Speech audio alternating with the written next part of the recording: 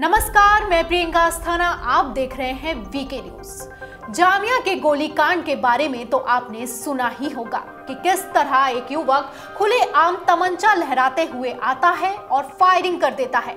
बता दें कि इस गोलीकांड में जामिया का एक स्टूडेंट घायल भी हो जाता है।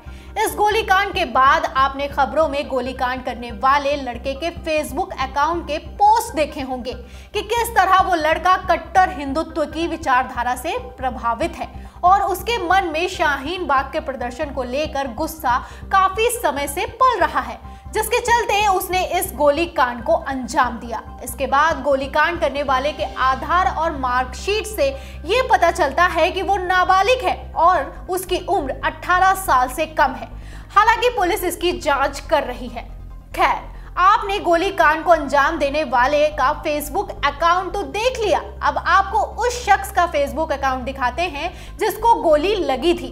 बता दें कि गोली लगने वाले युवक का नाम शादाब नजार है, जहाँ गोली कांड करने वाले लड़के को हिंदू आतंकवाद से जोड़कर पेश किया जा रहा है। तो वहीं दूसरी तरफ़ लिबरल मीडिया ने घायल होने वाले शादाब को काफ़ी सीधा और शर्मीला पेश किया और बताया कि वो पढ़ने लिखने वाला छात्र है। जब हमने इस बात की तफ्तीश की तो हमें पता चला कि ये शख्स कितना शर्मीला और सीधा है, जो कि फेसबुक पोस्ट से जहर घोलने का काम करता है। आइए आपको भी दिखाते हैं शादाब के पोस्ट सबसे पहले बात करते हैं 14 फरवरी 2019 की पुलवामा आतंकी हमले के बाद 16 फरवरी को किए गए उसके पोस्ट की, जिसमें वो पुलवामा अटैक को चुनावी जुमला बताकर शहीदों की शहादत का मज़ाक बनाता है। उसने अपने पोस्ट में लिखा कि कोई इस बात से कैसे 100 परसेंट सहमत हो सकता है कि ये आतंकी हमला था। ये ज़रूरी ही नहीं है।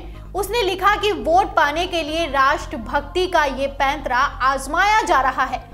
और तो और शादाब ने क्वीन की एक खबर शेयर करते हुए ऐसा जहर उगला जिसकी उम्मीद आप नहीं कर सकते। उसने अपने पोस्ट में लिखा कि मणिपुर की महिलाएँ चिल्ला कर कह रही हैं कि इंडियन आर्मी ने उनका रेप किया है। जबकि इस खबर की कोई पुष्टि नहीं हुई है। तो वहीं शादाब ने 18 जून 2018 को एक लिंक को शेयर करते हुए पोस्ट में लिखा कि गौ मूत्र धूम मचाए, सामने कोई टिक ना पाए। गौ माँ गौ माँ, लिंचिंग वाली गौ माँ। इस राइमिंग से जनाब थीम सॉन्ग सजेस्ट करने की कोशिश कर रहे थे। इसी कड़ी में शादाब के जहरीले ट्वीट्स का सिलसिला लगातार जारी है। बता दें कि उसने 9 जुलाई 2017 को एक पोस्ट करते हुए आतंकवादी बुरहान वानी का बचाव भी किया है। उसने अपने पोस्ट में लिखा कि अगर सिर्फ़ बंदूक उठाकर निर्दोष लोगों को मार देना हिंसा है तो फिर पुलिस और भारतीय सेना बुरहान वानी से कैसे अलग है? इस पोस्ट के ज़रिए शादाब ने पुलिस और भारतीय सेना पर निर्दोषों को मारने का आरोप लगाया है और उनकी तुलना आतंकवादी से की है। इसी तरह से उसके ऐसे कई पोस्ट हैं जिससे उसकी मानसिकता का पता चलता है। लेकिन हम ये साफ़ कर देना चाहते हैं कि इस खबर के ज़रिए हम ये बिल्कुल साबित नहीं करने की कोशिश कर रहे हैं कि शादाब को समाज में जहर घोलने के चलते गोली मारना सही है। लेकिन इस खबर से हम आपको ये बताने की कोशिश ज़रूर कर रहे हैं कि भारत में ऐसे जहरीले लोगों की कमी नहीं है, जो आगे चलकर शर्जिल की शक्ल ले सकते हैं।